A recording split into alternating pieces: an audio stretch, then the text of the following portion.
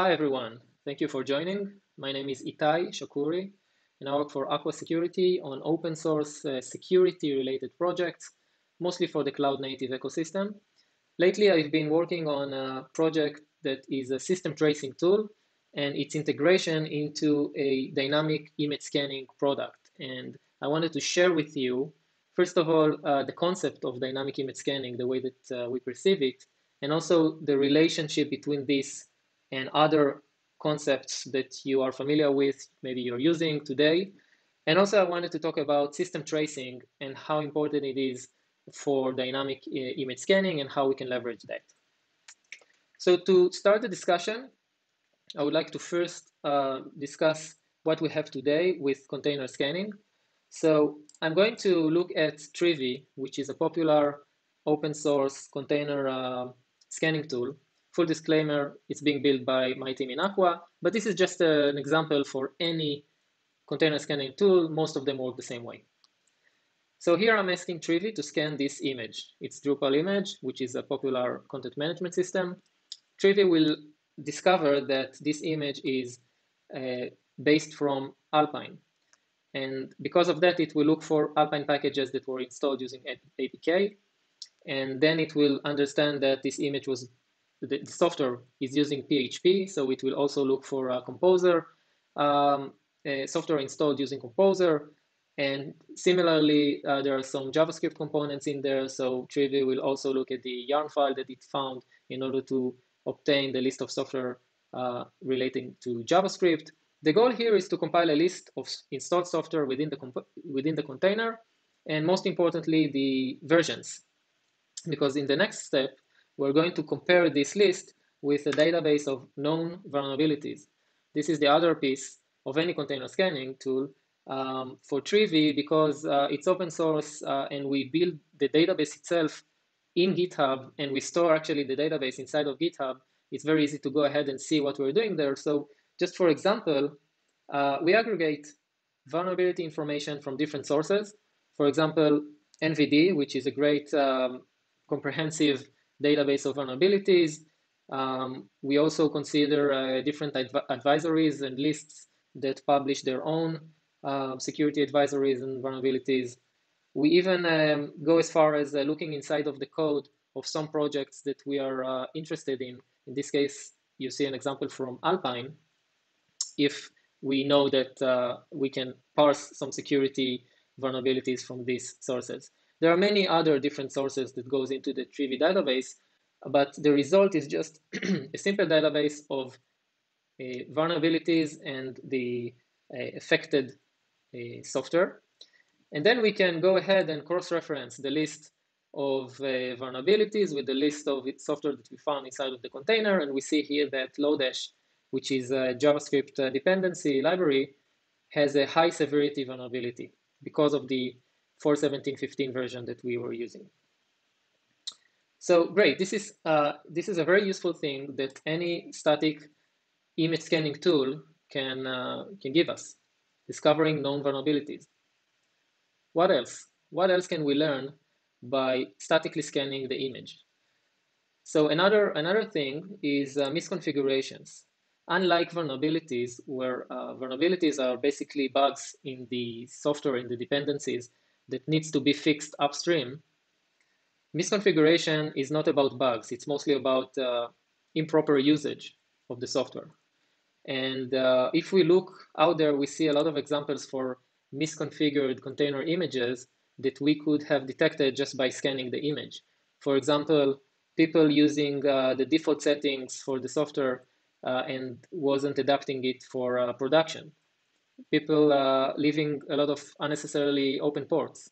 Uh, TLS settings which were incorrectly configured. People even use, uh, sorry, people even forget their passwords and keys inside of the code or inside of the containers. So these are all examples for things that we could easily have discovered just by looking at the container image itself. So vulnerabilities, misconfigurations, what else can we uh, understand just by analyzing the image at rest? So another thing is uh, malware. We can uh, the container itself is just a bunch of files, right? So we can take uh, any number of files from within the container and use uh, traditional anti-malware tools in order to identify those files and see if any of them appears to be malicious. These are all examples for the benefits of static image scanning. Just by looking at the image at rest, we can learn a lot about what this container is up to. So what do you think? If you are scanning containers today, is this uh, satisfactory to you? Do you feel secure after you scan your container images? So my, my claim here is that you shouldn't be because there is an entire category of risks that simply cannot be detected using static image scanning. And one example for that is uh, evasive malware uh, that we have observed in the wild. So this is an example for an image in Docker Hub that passed all of the scans. It has no known vulnerabilities, no misconfigurations, no known malware. But when you run it, you see the entry point here on the right. There is an encoded base64 encoded uh, string here that is essentially a malware encoded as, uh, as characters. And only at runtime, the script will uh, unpack this and run it. So if you were to scan this script, you know, it's a, it's a string, it's a weird string, but it's not necessarily malicious. Not a lot of static scanning tools will be able to understand what's going on here. But when you run the image, it's very easy to see that it is actually executing a malware. And uh, this is not a made up example. Uh, our research team has recently uncovered a, a, big operation of a group that has used uh, and abused Docker Hub in order to distribute malware in seemingly legitimate containers where the end goal was to run crypto mining tools on your servers. Um, and uh, my point here, you can go ahead and read the blog post if you want, but my point here is that this is real. This happens. And the fact that we are trusting Docker Hub in this case, Docker Hub has no fault here. This, they are just storing files. But the fact that we are trusting the source here blindly is an open door. There's an, actually an entire category of, uh, of uh, risks here that is called supply chain attacks. And this is where uh, the hackers will not even target your, your servers. They will not try to hack you directly. Instead, they will target your supply chain that you already trust. Think about where you store your source code today. Think about where you build and test and produce artifacts, your CI/CD pipeline. Think about where you store artifacts today and how you deliver those artifacts into production. Each, each and every one of those uh, chain in the links is a point of interest to the attacker because if they compromise one of them, most likely their malware will be able to find its way into your servers because you already trust this pipeline. So to summarize, static image scanning can tell us a lot about the container and it's very important to scan our containers. We learn about the known vulnerabilities, we learn about misconfigurations maybe, and maybe even about malware inside of the container. But there's also an entire category of risks that we were overlooking. We've discussed evasive malware. There's also un, unknown vulnerabilities. There's also uh, more sophisticated attacks that are harder to scan for. My point is that the image itself at rest can also can only tell us so much about what the container will do at runtime. And the best way to understand what the container will do at runtime is to run it. And this is where system tracing also enters the, the picture because system tracing allows us to understand what's happening from the operating system point of view. This is something that the malware, the software that's running inside of the container cannot simply uh, evade or escape. So I would like to show you now a quick demonstration of what it means to detect a malicious behavior using system uh, tracing. All right, so we will start by looking at an example for um, a script similar to the one that uh, I showed you in the slides. And uh, you see here the, the very long base64 encoded string. And in the end, there's a, there's a command to decode it and to make it an executable and to execute it. And then just as a disguise, show that something, something else is happening. If we run this, um, this is called evasive script, we, we see hello world, this is being printed by the malware, and we see I'm good, which is the, um, the disguise of the script. Now, if the malware didn't uh, naturally print hello world to us, how would we able how would we be able to understand that this script hide it, hides um, another executable? We could read it, yeah, but if this wasn't a script, if this was a, an executable, maybe even an obfuscated executable that's harder to manually analyze, then would be in, in, in some kind of trouble. So um, this is where tracing comes in. I'm going to use a, a very popular tool that's called strace. This is uh, a very uh, common Linux toolbox kind of tool. Uh, it allows us to trace system calls from the operating system point of view. And I'm going to run the, the same uh, script, except I'm prefixing it with the command strace. I also want to tell it exactly what to trace. So I will uh, say trace equals execve. Execve is the name of the system call that's being used to ask the operating system to execute something. If we do that, we see the same result here, hello world, I'm good um, in the output, but also we see all of the execve calls. And uh, we see here that um, this file was executed. And again, this time it was a script, so we know that it was in there, but think about a different case where this was a, uh, a binary where it wasn't so easy to understand what's going on in there. Actually, let's take a look at uh, an example like this. So here I have another example. It's the same Hello World application that was the malware. This time, um, this is the malware itself. This time I am hiding it within this hello world.text.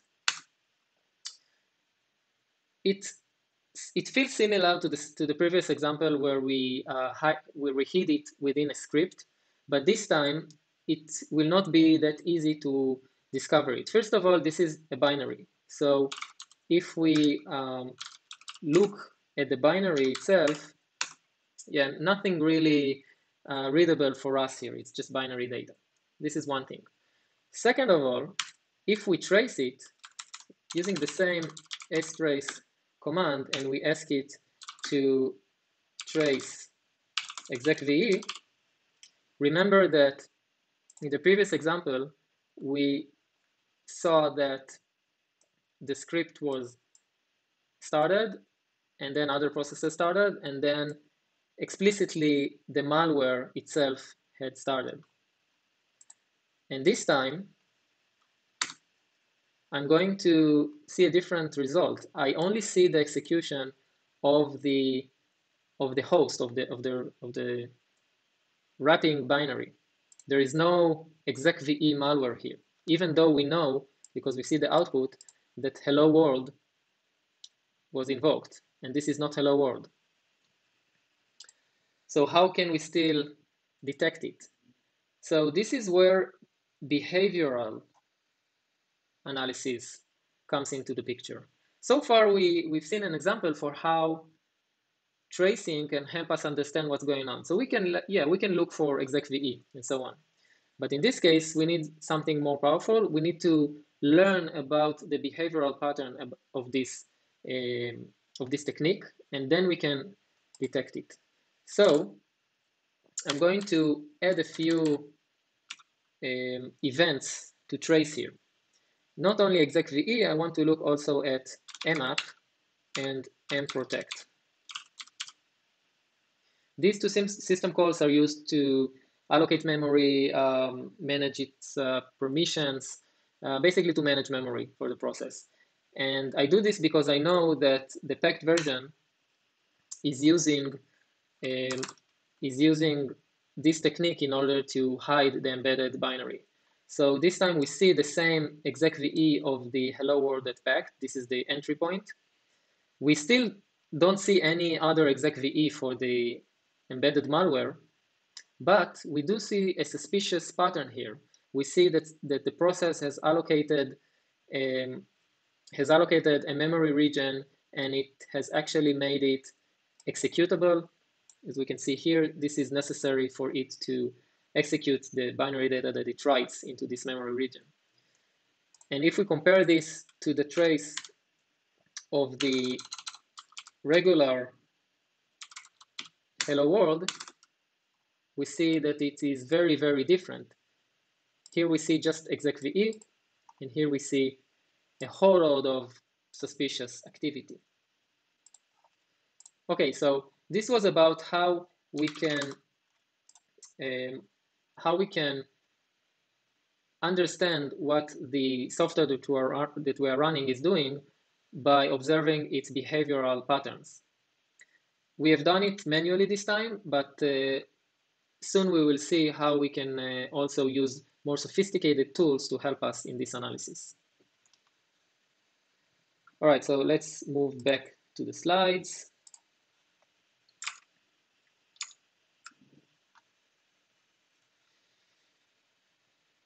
Okay, so we have seen how uh, we can use system tracing in order to understand the software that's running in the containers. Uh, maybe some of you think this sounds familiar, maybe it rings a bell. Uh, we have been using similar techniques in production to uh, to prevent from certain things to happen or to alert. This is often called runtime security or runtime protection. Uh, it's nothing new, right? Uh, there's a lot of uh, mature solutions in the market for runtime security. And what it means is that we are going to monitor everything that happens in production. We are going to analyze this stream of events, and we are going to look for suspicious patterns. And if we, if we find something, then we are going to alert, or we can even block it from ever happening.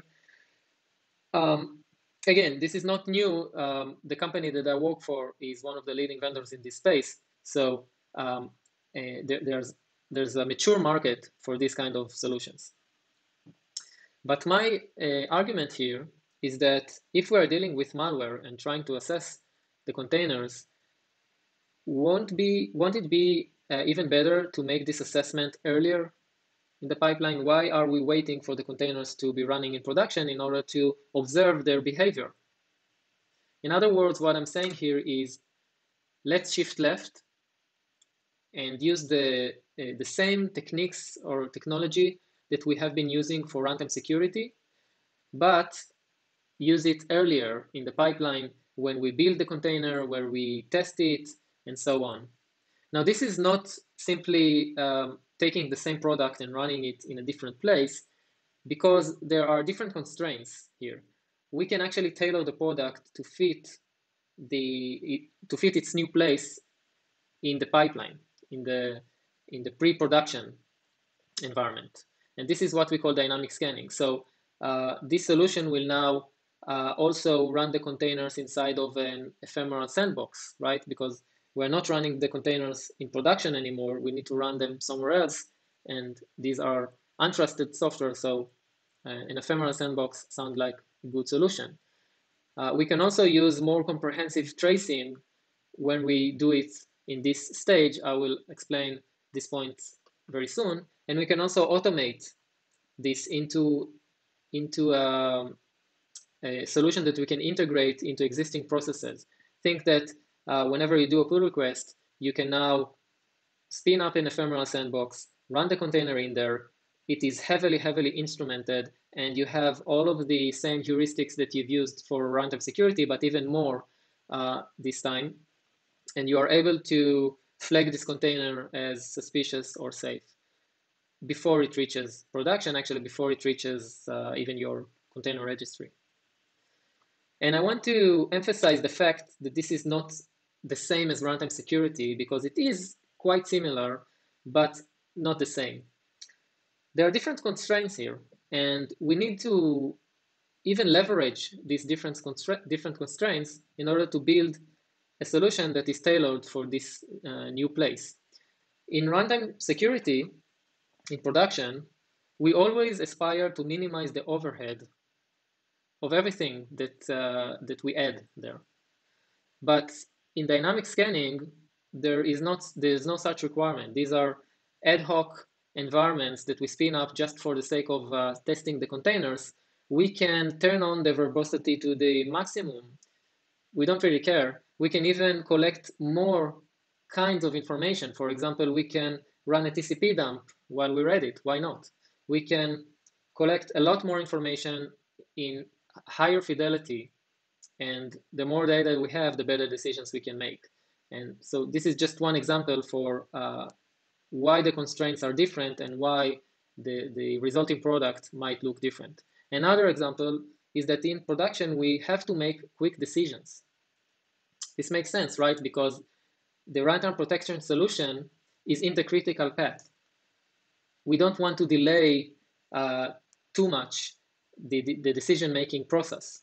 But with dynamic scanning, we don't have these, con these constraints. We can take as long as we need to in order to make decisions. We can use uh, more complicated algorithms to, to test or to make the decisions. We can even defer the decisions. So we can uh, see that if something uh, specific happens, we can flag this container for someone else, some security researcher to take a deeper look at later on. This is a privilege that we have with uh, dynamic scanning, and we don't have this with runtime security. Another example for the differences is that in production, the stakes are much, much higher. Everything is high impact. But with dynamic scanning, this is a fake environment. It's not real uh, customer data. So we can actually let the malware run to completion and do what it wanted to do, maybe we will learn something about it that we that we couldn't have because we had to uh, stop it short in production. So my point here is just to, um, to explain why dynamic scanning is not runtime security. Yes, it is using system tracing, it is using even similar terminology or uh, technologies, but because the constraints are different, we can build two different products that each one of them leverages the, uh, the constraints to its own benefit. All right, so uh, now I want to explain what I meant earlier when I said advanced tracing. So in the demo that we saw earlier, I used strace, a very popular and very effective tool uh, to trace the system calls that a uh, process makes but uh, we cannot speak about system tracing today without mentioning eBPF. And this is not going to be an introduction to eBPF. There are other uh, sessions that cover that. But I think that eBPF is such a um, an impactful and, and critical component uh, that uh, affects uh, system tracing today that we need to mention it. So uh, eBPF is just a subsystem in the Linux kernel that allows you to run your own code within the Linux kernel. And uh, this is very unique because if you wanted to do something similar to that before eBPF, you had to uh, maybe build a kernel module and load it. So that means that the code that you write, this kernel module, is essentially um, at the same level as the kernel. It has the same privileges, it has the same um, blast radius.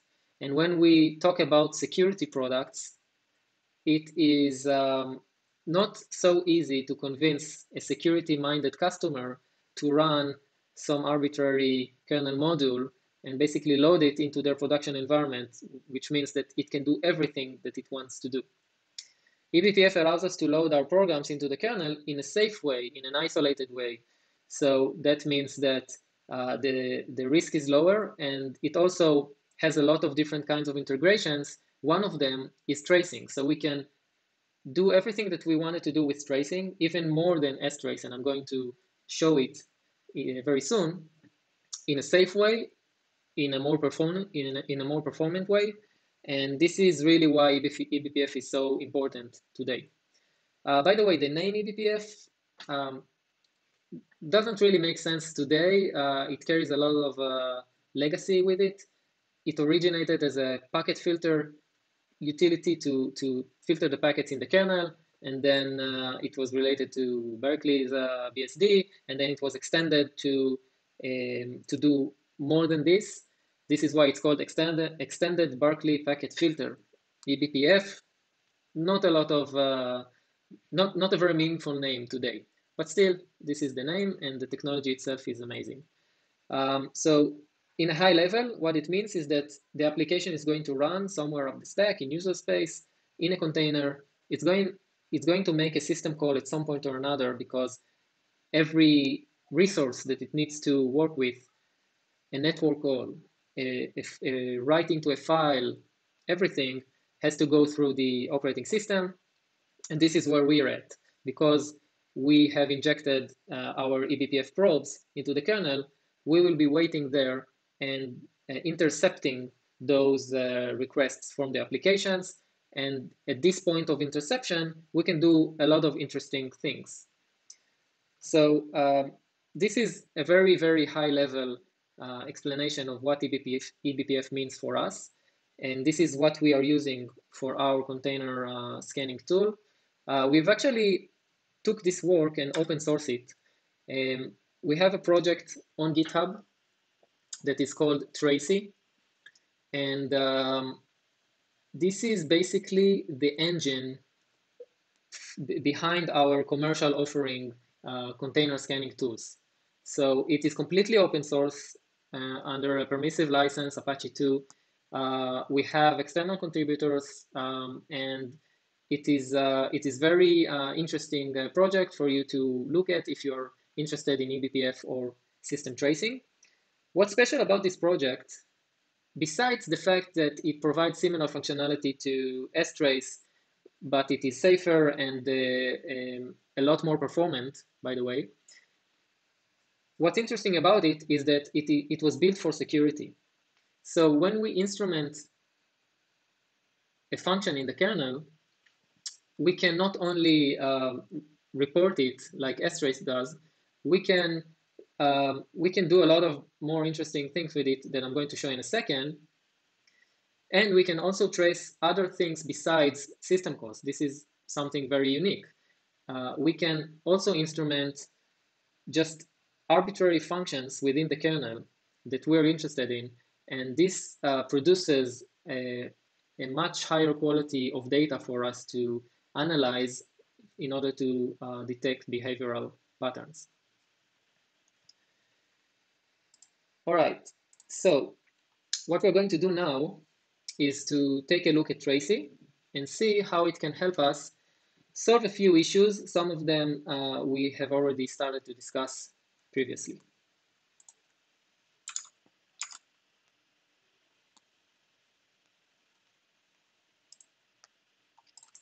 All right.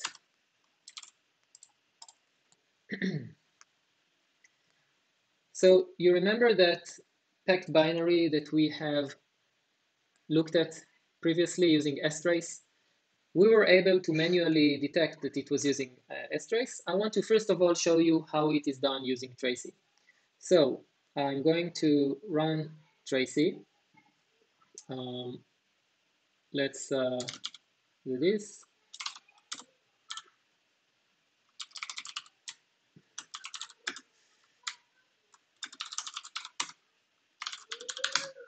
All right, so this is Tracee, and there's a lot of options here. I'm not going to cover them all. I'm just uh, at this point trying to reach the same result as we have uh, done with strace. So I'm telling it to trace exec VE. I'm telling it to trace mmap. And I'm telling it to trace um, mprotect, right? And I'm also going to prepare to run my hello uh, world depect version. Uh, let's start Tracee. Tracee is now uh, registering the, the eBPF probes and we can now run the, the binary and we see a very similar output to what we have seen before. We see um, execve for the entry point, we see the mmap and mprotect um, um, system calls. We see the, the arguments to these calls, in this case that someone requested a executable memory region. So far, pretty similar to strace. Now I'm going to do the same, but to turn on this very interesting flag that's called security events. Oh, security events. And, oh, sorry, what did I miss here? Security alerts, my bad. I'm going to run the same packed executable, and this time, almost the same output, but this time you can see here that we have a new kind of uh, alert here, memprot alert. And this is basically Tracee telling us, hey, we've noticed that the protection of this memory region has changed to executable. This is a notable um, event. This is not raw data. This was not collected from the operating system. This is security insight that Tracee is adding on top of the raw data. Eventually, you can see here a state machine that is tracking the uh, behavioral pattern, and it results in this final alert that protection changed to executable, which is uh, a trigger point that you can react to. So this is very cool. Tracee is not only surfacing raw data, it is actually um, producing security insights. But you know, Tracee can do something even better. It can actually collect the evidence for the security incident, in this case, the embedded binary that was ran from memory, it can actually capture this memory uh, region into a file that you can later go on and investigate. This is super cool. So I'm going to run the same. I will tell Tracee to capture uh, memory files, and I'm going to tell it to clear the output directory before it does that. So run this again and run the packed version again. Almost the same output, except this time where we see the this uh, alert from Tracee, we also see that saving data to this file. This is the addition. And we can take a look at this file here. Uh, if we look at uh, temp Tracee, this is by default the output directory where, where Tracee saves stuff, we can see that we have this same file here. And this file, the contents of this file, this is not a memory dump. This is not the entire uh, 16 gigabyte of memory. This is the precise memory region that triggered this alert. So if we take a look inside of this file, um, so it's under this directory, this is the name. Uh, so this is the binary data, it's not readable for us, but this is the same binary data that you would find if you, if you were to take a look at the original embedded binary, which is um, the hello world binary. It's basically the same binary data. And you can take this evidence and analyze it, investigate it, and so on. All right, so some very cool stuff here with Tracee.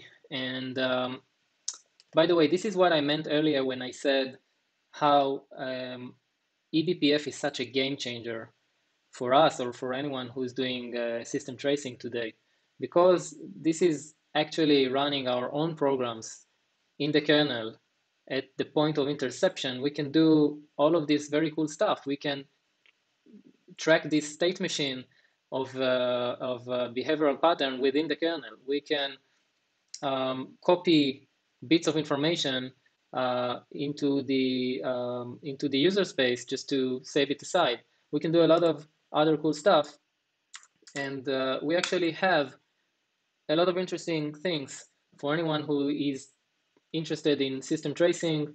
We've seen the uh, capture option with the mem option, but we have like capturing of executed files, capturing of written files. We have the security alerts that we discussed.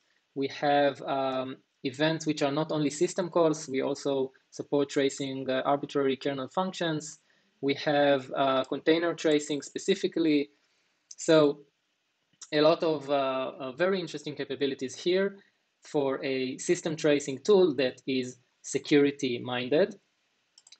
And um, Tracee is built in the open, and uh, we welcome you to participate and uh, tell us what you think. And, and Tracee, I remind you, is the engine for our dynamic scanning solution. And this session was about dynamic scanning of containers. So I hope now maybe it all uh, starting to uh, tie together for you how static scanning relates to dynamic scanning, which relates to runtime security, and how system tracing is enabling this uh, dynamic scanning technology. I think one of my goals here today was to explain why dynamic scanning is distinct from static scanning and from runtime security, even though it draws um, similar characteristics in some ways, similar technology to runtime security or similar uh, requirements such as uh, static scanning, but still it is a piece of its own. And I hope that uh, you find this idea interesting. If you do, then uh, you can start to explore dynamic scanning of your images as well. So thank you, everyone. This has been great fun. I think we have a few more minutes for questions. If you don't make it this time, you can reach out to me personally over at Twitter. I'm at itaysk. And I wish you a uh, fruitful rest of the conference.